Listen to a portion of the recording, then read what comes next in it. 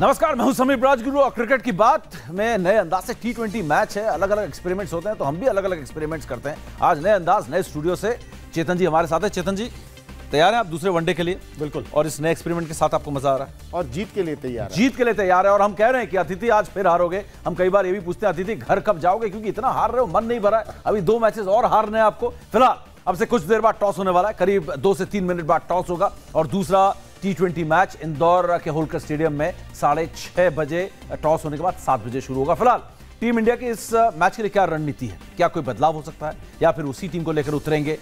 क्या स्कोर यहाँ पर होना चाहिए? क्या ड्यू का फैक्टर जो है यहाँ पर इस मैच पर असर डाल सकता है? इन सब पर हम नज़र डालते हैं इस रिपोर्ट पर और उसके बाद अपने एक्सपर्ट से इस दूसरे टी ट्वेंटी के बारे में हम रणनीति बनाएँगे। धोनी के लिए फिर से यॉर्कर डालने का प्रयास। रवैया के साथ खेल सकते हैं। ये बढ़िया शॉट ये। बनेगा। होलकर में भी बजेगा ढंका और के राहुल का भी प्रयास था कि वो भी अच्छा सहयोग दें पर इस बीच रोहित शर्मा आउट हो गए। फिर श्रेयस अय्यर आए उन्होंने वो लाजवाब बैकफुट आज फिर लुटेगी लंका। पंच लगाया। शॉट अच्छा है ये के राहुल का। चार रन के लिए गैप में चार रन। शायद मुझे लगता है इस बॉलिंग श्रीलंका की कटक में पटकने के बाद अब भारत की नज़र सीरीज़ जीतने पर। छोटी गेंदली नहीं इरादे हिमालय से ऊँचे और जोश सातवें आसमान पर।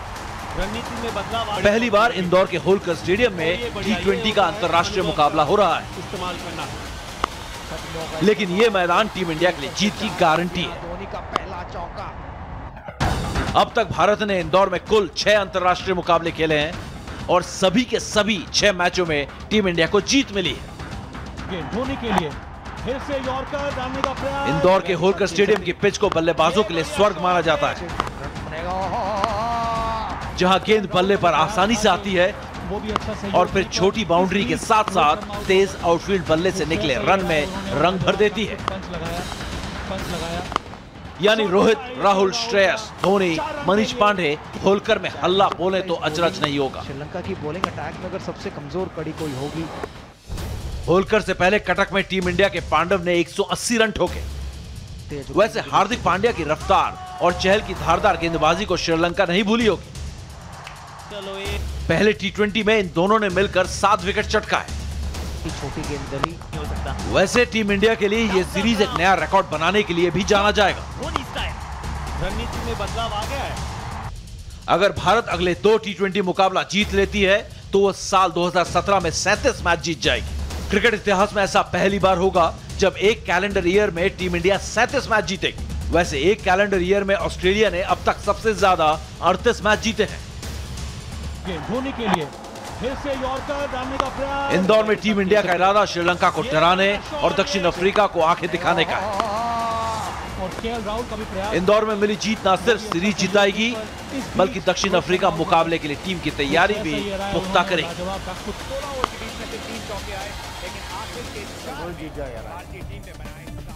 तो चलिए फ़िलहाल आपको बता दें कि टॉस हो चुका है और श्रीलंका ने टॉस जीत लिया। इससे पहले कि पता चले श्रीलंका ने क्या सोचा है आज क्या करेंगे पहले? आज भी गेंदबाजी करेंगे पहले। ड्यू फैक्टर है यहाँ पर। इस समय वो, दुविधा में उनको समझ नहीं आई। वो एक्चुअली टॉस हारना चाहते हैं। अगर मैं उनकी जगह होता मैं टॉस हारना चाहता। लेकिन इस समय वो टॉस जीते हैं। मुझे लगता है वो वही करेंगे। वो अपना टॉस जीतकर पहले बल्लेबाजी करने का फैसला करेंगे। वो चांस नहीं लेंगे। पहले गेंदबाजी करेंगे शायद पाजी क्योंकि मेरे को सॉरी पहले गेंदबाजी। ड्यू फैक्टर है। माफ़ कीजिएगा। तो पहले गेंदबाजी करना पसंद करेंगे। तो देखना है कि अब क्या रणनीति उनकी होगी जी हाँ और बिल्कुल ऐसा ही हुआ है जैसा कि हमारे एक्सपर्ट चेतन शर्मा बोल रहे थे। चेतन जी पहले गेंदबाजी का फैसला किया है। श्रीलंका ने टॉस जीतकर और दूसरे टी ट्वेंटी में इंदौर में आपको बता दें, एकदम जो ताज़ा जो खबर होलकर स्टेडियम से आ रही है वो ये है, श्रीलंका ने टॉस जीता और पहले गेंदबाजी का फैसला किया है। रोहित शर्मा एक बार फिर पहले बल्लेबाजी करते हुए नज़र आएँगे और जैसा रोहित शर्मा ने इस सीरीज़ में हवा निकाली जहाँ तक श्रीलंका की टीम की बात है, धर्मशाला में हार के बाद, अब उम्मीद यही कि एक बार फिर इनका बल्ला धमाका बोलेगा। टीम इंडिया के लिए मुश्किल टेस्ट नहीं है, लेकिन कहीं ना कहीं टी ट्वेंटी मैच है। इसमें कमज़ोर कोई नहीं होता, ये एक बड़ी एक अलग सी एक बात होती है टी ट्वेंटी में। जितनी छोटी टीम, उतना ज़्यादा खतरा। तो टीम इंडिया की रणनीति यहाँ पर एक बार फिर क्या? एक बड़े स्कोर की तरफ़? समीप डेफिनेटली आप पहले बल्लेबाजी कर रहे हैं, कोई प्रेशर नहीं है। प्रेशर जो है श्रीलंका के ऊपर है, क्योंकि अगर ये मैच वो हारते हैं तो सीरीज़ उनके हाथ से निकल जाएगी। तो सबसे बड़ी बात इस समय यह है कि भारतीय टीम अपने नॉर्मल क्रिकेट खेले और सभी फॉर्म में है, कोई चिंता की बात नहीं है। अगर हम देखें कि जिस जिस की हम पिछले मैच में बात कर रहे थे कि इनको रन्स बनाने चाहिए, उन्होंने रन्स बनाए। आप राहुल की बात करें, मनीष पांडे की बात करें, महेंद्र सिंह धोनी तो क्लास ही थे लास्ट टाइम तो य- यही अब रणनीति होगी कि अपने 20 ओवर खेले और कम से कम 170 180 के बीच में अगर भारतीय टीम बनाती है और गेंदबाजी तो कमाल किया है भारतीय टीम की। लास्ट टाइम अगर समीप यादव हम ये बात कर रहे थे कि गेंदबाजी कहीं ना कहीं वीक लिंक हो सकती है भारतीय टीम की लेकिन पिछले मैच में भारतीय बॉलर्स ने ये दिखा दिया। इवन उनतकट की बात करें चाहल की बात करें कुलदीप की बात करें कि हमारा जो स्ट्रेंथ है बॉलिंग की वो वैसी कायम है। तो इसलिए चिंता का कोई बात नहीं होनी चाहिए। चिंता चिं- चिंता की कोई बात नहीं है लेकिन इससे पहले कि रोहित शर्मा से हम सुने की टीम में क्या बदलाव है या वही टीम खेल रही है विनिंग कॉम्बिनेशन के साथ कोई छेड़छाड़ बिल्कुल। नहीं होनी चाहिए। बिल्कुल नहीं सीरीज़ जीतने के कगार पर है। आप इसी टीम से खेलें जीतते हैं तो अगले मै, अगले मैच में पूरे घर के बदल डालो। जी हाँ और आपको बता दें जैसा कि यहाँ पर चेतन जी ने कहा है कि पूरे घर के बदल डालो अगले मैच में इसमें कोई बदलाव नहीं होना चाहिए और टीम इंडिया की प्लेइंग 11 कोई बदलाव नहीं विनिंग कॉम्बिनेशन के साथ कोई छेड़छाड़ नहीं और ये रही आपके सामने टीम। यजुवेंद्र चहल और कुलदीप यादव वाकई में सपनों में भी आ रहे होंगे नींद नहीं आ रही होगी कि इन दोनों को कैसा खेला जाए क्योंकि एक बहुत बड़ा खतरा है जिसका नाम मैं अपनी इस रिपोर्ट में बताऊँगा, लेकिन के राहुल और श्रेयस अय्यर दो ऐसे खिलाड़ी हैं जो टीम इंडिया के लिए बहुत पॉजिटिव्स लेकर आए हैं। इन दोनों से काफ़ी राहत मिली होगी टीम मैनेजमेंट को।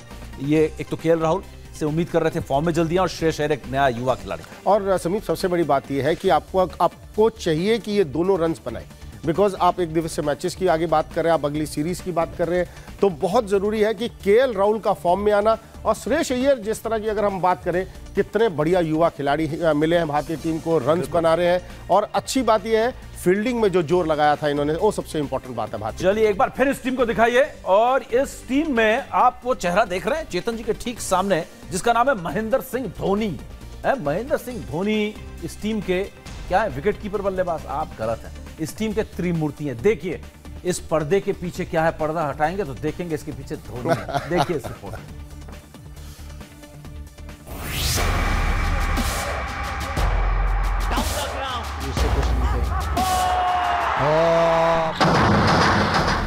ना तलवार की धार से ना गोलियों की बौछार से। बंदा डरता है तो सिर्फ़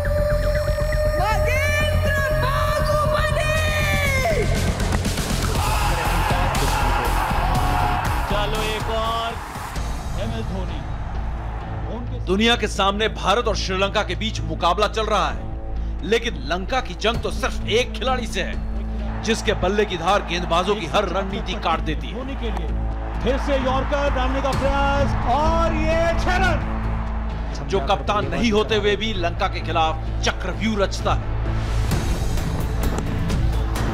इस बार फिर से विकेट ले लिया। जिसके हाथों की रफ्तार बल्लेबाजों को क्रीज पर टिकने नहीं देती। जी हाँ धोनी के त्रिमूर्ति अवतार का श्रीलंका के पास कोई तोड़ नहीं है। इस साल श्रीलंका के खिलाफ धोनी ने दो टी ट्वेंटी खेले।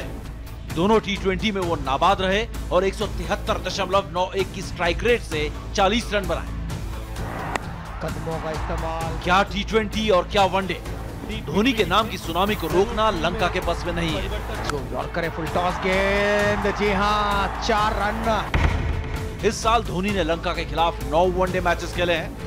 जिसमें निन्यानवे की औसत से दो सौ सत्तानवे रन जोड़े। इस दौरान उनके बल्ले से तीन अर्धशतक भी निकले।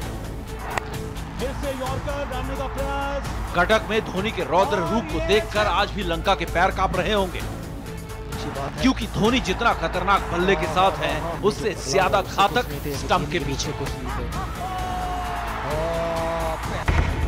श्रीलंका के खिलाफ दो टी ट्वेंटी में विकेटकीपर धोनी ने पाँच खिलाड़ियों को आउट किया है।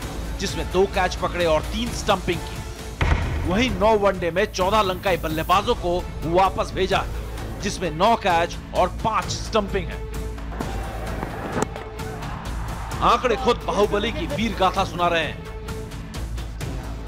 इन आंकड़ों पर चार चाँद लगने वाले हैं, क्योंकि धोनी को मिल गया है चार का साथ। MSD, I mean, uh, we can't talk much about him. Uh, he's he, he's hitting the ball well. Uh, again, uh, didn't get much opportunity in the ODIs as well, but again uh, showed uh, uh, you know where uh, the class is going to be permanent, and uh, you know we expect a lot lot from him. And uh, number four uh, really paid off.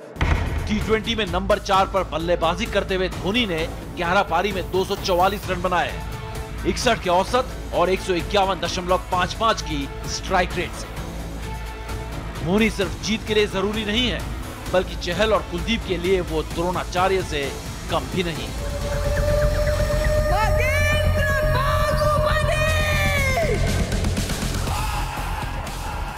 वाकई में नरेंद्र बाहुबली है team के और चेतन जी। धोनी हम बात कर रहे हैं कुलदीप यादव और यजुवेंद्र चहल की चमत्कारी गेंदबाजी की।